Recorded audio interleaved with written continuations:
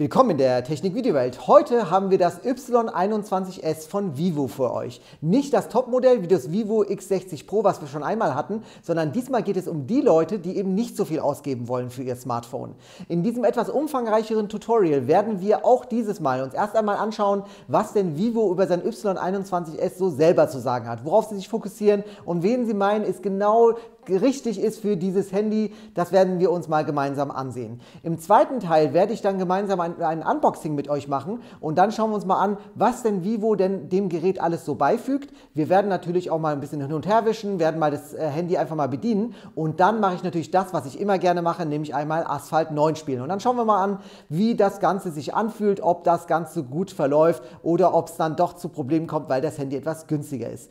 Nicht vergessen, auf unserem Schwesterkanal AI Tipps und Tricks gibt es jede Menge Tutorials zum Y21S. Also wenn ihr wissen wollt, wie ihr bestimmte Dinge macht, schaut auf jeden Fall dort vorbei. So, legen wir los.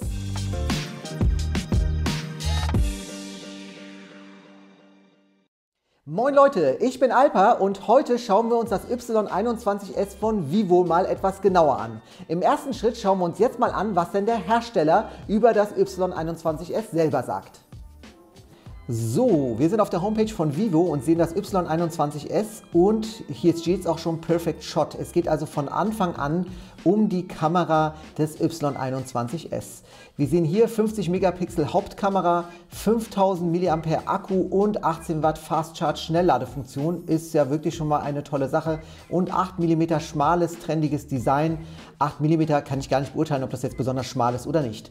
Also Design schmal und trendig, wird also nochmal ganz klar gesagt. Flacher Rahmen, 5000 mAh Akku. Ähm, 8 mm dünnes Gehäuse sehen wir hier. Wir sehen hier nochmal das Handy wirklich in seiner ganzen Pracht. Ich finde ja hier diese Farbeffekte wirklich schön und man kann hier auf der linken Seite eben die verschiedenen Kameras sehen. So, Strukturnuancen auf einem neuen Niveau. Die zart geprägte Struktur begeistert mit einem gefrosteten Look. Genau, das war das, was ich gerade erwähnt hatte. Und bei Midnight Blue sieht das eben ein bisschen anders aus. Wir sehen hier Seitenverhältnis 20 zu 9, Bildschirm-Gehäuseverhältnis 89 Prozent. Hier gibt es also wirklich viele Informationen über das Gerät, über hier diesen seitlichen Fingerabdruckscanner und Face Awake. Das ist also auch ganz gut. Man kann bei Bedarf mit einem einzigen Augenaufschlag das Ganze entsperren. Über die Sicherheit brauchen wir uns, glaube ich, da jetzt nicht so zu unterhalten, wenn es da lediglich über so eine einfache Kamera geht. Aber der Fingerabdrucksensor bietet ja auf jeden Fall schon genug Sicherheit. Genau, hier geht es dann nochmal um den Akku und äh, Fast Charge und dann kommt natürlich die Triple Camera und da sieht man mal, was für tolle Bilder das Gerät machen kann. Eben, es gibt noch zusätzlich eine äh, Bokeh-Kamera, hier ein Bokeh-Algorithmus, super Makrokamera und 8 mm Super Night Selfie, also wenn man wirklich mal abends mal Bilder machen will. Und das ist meiner Ansicht nach auch genau das, womit sich Vivo auch sehr stark hervorhebt, nämlich wirklich mit diesen tollen Kameras, die die verbauen. Denn auch egal ob teuer oder günstig, man sieht, die verbauen wirklich gute Kameras da drin. Wir haben 4 GB äh, Smartphone, ähm, 4, 4 GB ähm, Speicher drin, also RAM, plus 1 GB Extended, was er sich dann von der Festplatte schnappt und 128 GB ROM, also von der Festplatte 128 GB habt ihr. Der Prozessor ist ein ähm, Octa-Core-Prozessor mit 2 GHz. Und es gibt hier ein dynamisches Management von CPU, GPU und Speicher, damit ihr zum Beispiel eure Spiele viel besser spielen könnt. Dann gibt es eben hier genau Datenverbindung, Systemgeschwindigkeit. Also hier wird jede Menge optimiert seitens äh, Vivo. Und hier haben wir noch diesen Ultra-Game-Modus. Bild im Bildspiel, bitte nicht stören wird aktiviert und E-Sports-Modus. Also äh, jede Menge Dinge, die sich haben einfallen lassen. Diese eigene Oberfläche, die sie über Android äh, gesetzt haben, ist sehr einfach und verständlich und sehr minimalistisch. Und wir sehen jetzt hier auch einen KI-Editor, ermöglicht es dir, stylische Videos zu machen und in den sozialen Medien zu teilen. Also das ist das, was Vivo sagt. Was mir so auffällt, ist eben Akku, Kamera ähm, und Prozessor. Eigentlich so die Dinge, die man eigentlich immer so haben will, aber scheint ja alles mitzubringen. Klingt ja ganz beeindruckend, was Vivo über sein Y21S so verrät. Natürlich die 50 Megapixel Kamera, natürlich, dass es schnell laden soll, natürlich der auf Spiele optimierte Prozessor. Also alles Dinge, die einem doch heutzutage wichtig sind, wenn man eben ein Handy kauft, was eben auch nicht so viel Geld kostet. Dass man da eben auch noch eine 50 Megapixel Kamera bekommt, klingt ja schon mal sehr gut. Wir werden jetzt einmal das Gerät auspacken und dann mit euch mal ein bisschen Asphalt 9 spielen. So, dann fangen wir doch mal mit dem Unboxing an. Das Y21S. Wir machen mal einmal das Ganze auf und wir finden hier erstmal einige Informationen, gehe ich mal davon aus. Genau, mit einigen hier Zettelchen, die brauchen wir jetzt nicht unbedingt. Genau, hier ist das Y21S. Das hole ich mal hier mal raus. Legen wir mal einmal zur Seite. Und das, was ich besonders spannend finde, ist ja, während alle Hersteller sparen, also zumindest die großen wie Samsung und Apple, die legen dann zum Beispiel kein Netzteil mehr bei. Und ähm, Vivo denkt sich, nö, machen wir trotzdem. Und zwar auch bei den Geräten, die eben günstiger sind. Und hier ist jetzt ein 18 Watt Netzteil drin, was euch eben hilft. Also nicht nur ein einfaches äh, Gerät, was wir eben sonst so bei den günstigeren haben, wo noch ein Netzteil dabei ist, sondern satte 18 Watt. Das hilft euch also auf jeden Fall euer Gerät schneller zu laden. Das finde ich also schon mal super, dass das dabei ist. Ansonsten haben wir hier wahrscheinlich USB-C Anschlüsse. Schauen wir mal, ob ich das hier einfach mal so sehen kann, wenn ich das hier so rausziehe. Dann haben wir, ah nee, USB-A zu und jetzt gucken wir mal, das ist USB-C. Genau, USB-A zu USB-C, absolut okay. Und während alle sparen, denkt sich Vivo, hey, ihr kriegt noch Kopfhörer von uns und die Kopfhörer mit dem Standard-Klinkenanschluss. Also auf jeden Fall gibt es hier einige Dreingaben, die man eben wie gesagt nicht mehr bei allen Herstellern findet.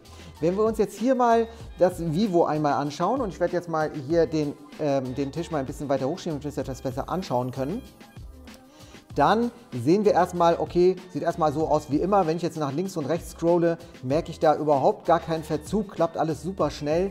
Und wenn ich jetzt hier einmal das Menü aufrufe, auch das, ja gut, ein bisschen ruckeln merkt man, aber nicht so viel meiner Ansicht nach. Wir gehen mal in die Einstellungen und auch hier wechsle ich mal hier ganz nach unten nach oben und gucke mal, ob der damit irgendwie Probleme bekommt. Ein schöner Test ist ja auch grundsätzlich immer hier ähm, den Google Play Store. Wenn ich jetzt hier einfach mal auf die Startseite gehe, was auch für mich und dann hier, ah genau, und dann sehen wir jetzt hier auch schon, ähm, weil hier natürlich nicht so ein starker Prozessor drin ist. Man merkt das hier ein bisschen, aber das ist meiner Ansicht nach auch wirklich Jammern auf hohem Niveau, denn natürlich ist es so, wenn ich mir jetzt irgendwelche Sachen anschauen will, ich weiß, ich habe nicht so viel ausgegeben, es reicht dicker aus.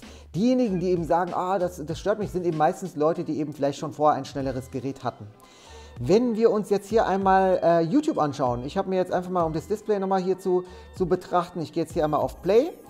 So, und jetzt schauen wir uns das Ganze mal an und das sieht wirklich schön aus. Also wenn wir uns hier die verschiedenen Einstellungen hier anschauen, von wenn ich einmal nach unten gehe, nach oben, natürlich spiegelt es, aber die Qualität vom Display ist meiner Ansicht nach absolut gegeben, reicht dicke aus für all das, was ihr machen möchtet. Und natürlich ein weiterer Test, mein Lieblingstest ehrlich gesagt, ihr wisst jetzt auch schon, was kommt, nämlich Asphalt 9. Und jetzt fange ich mal mit euch an, gemeinsam Asphalt 9 zu spielen. Ähm, mir ist ja äh, immer besonders wichtig, dass man auch mit Geräten, die eben nicht so viel kosten, dass man auch mit denen ganz gut spielen kann. Also jetzt nicht irgendwelche großen Kompromisse eingehen muss oder irgendwas, sondern einfach direkt loslegen kann. Also starten wir mal mit Asphalt 9.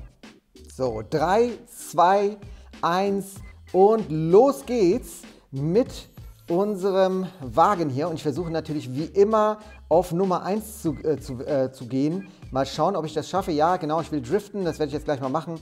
Ansonsten wirkt das Ganze natürlich wirklich auch hier relativ butterweich, wobei ich hier auch schon Ruckler sehe. Also es ist schon eine Sache, die mir auffällt, dass das eben nicht so flüssig ist wie sonst, aber ich kann das Spiel ganz normal spielen und wie ihr sehen könnt, bin ich jetzt gerade, auf welchem Platz eigentlich?